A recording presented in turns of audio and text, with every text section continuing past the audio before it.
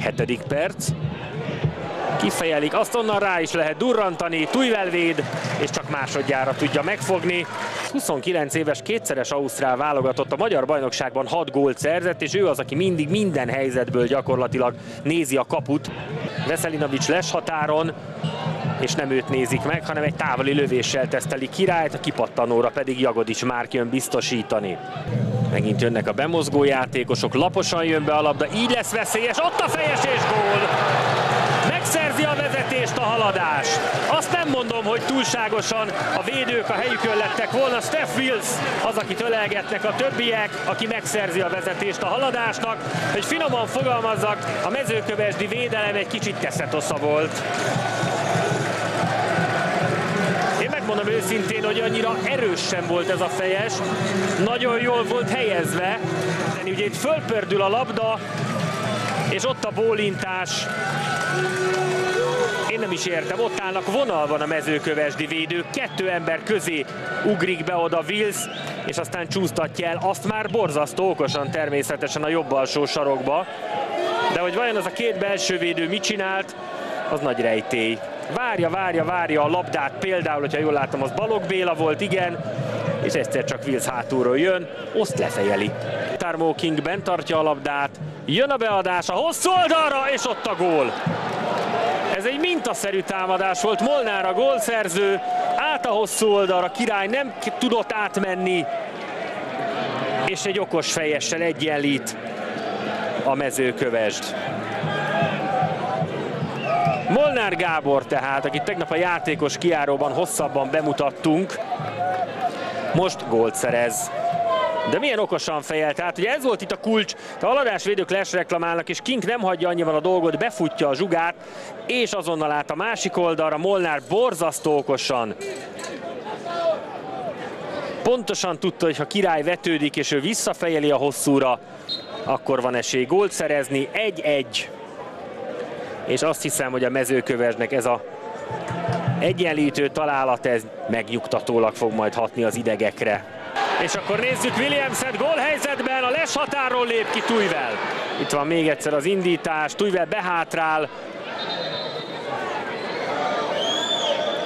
Figyeli a rövidet. Az ő játékukban mindig benne van az, hogy esetleg kontrákból gólokat szerezzenek. Williams, amikor megtolta volna a labdát, akkor kapott egyet pont Szeles Tamástól, és 11-es. Na nézzük csak! Iszlai fölnéz még az égre, hát ha onnan nem is kulcsáról kaphat ihletet. Nézzük a büntetőt, berúgja. 2-1 a haladásnak. És ugye most lesz igazán érdekes a meccs, mert egy fél ideje maradt tulajdonképpen a mezőkövesnek. Tujvelnek esélye nem volt, Iszlai Bence maga biztosan rúgta. El is ment egyébként Tujvel a bal alsóba.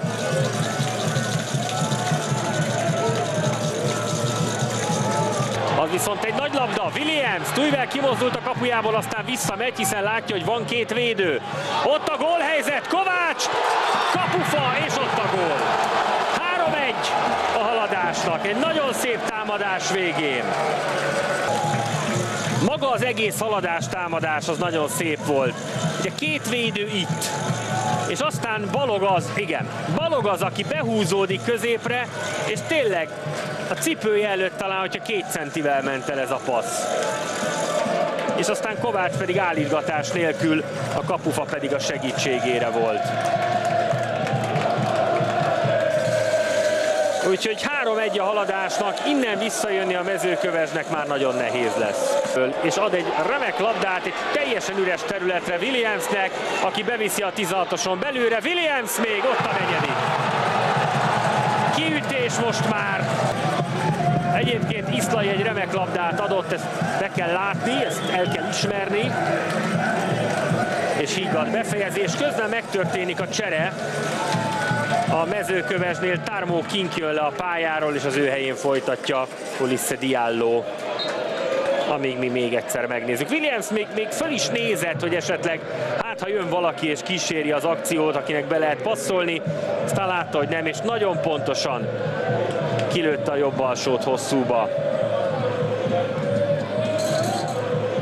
Tóth Bence Na nézzük még ebből lesz-e valami. Baracskai, ott a gól. Baracskai szépít, 4-2. Nekünk meg semleges nézőknek azért volt jó, mert legalább láttunk 6 darab gólt.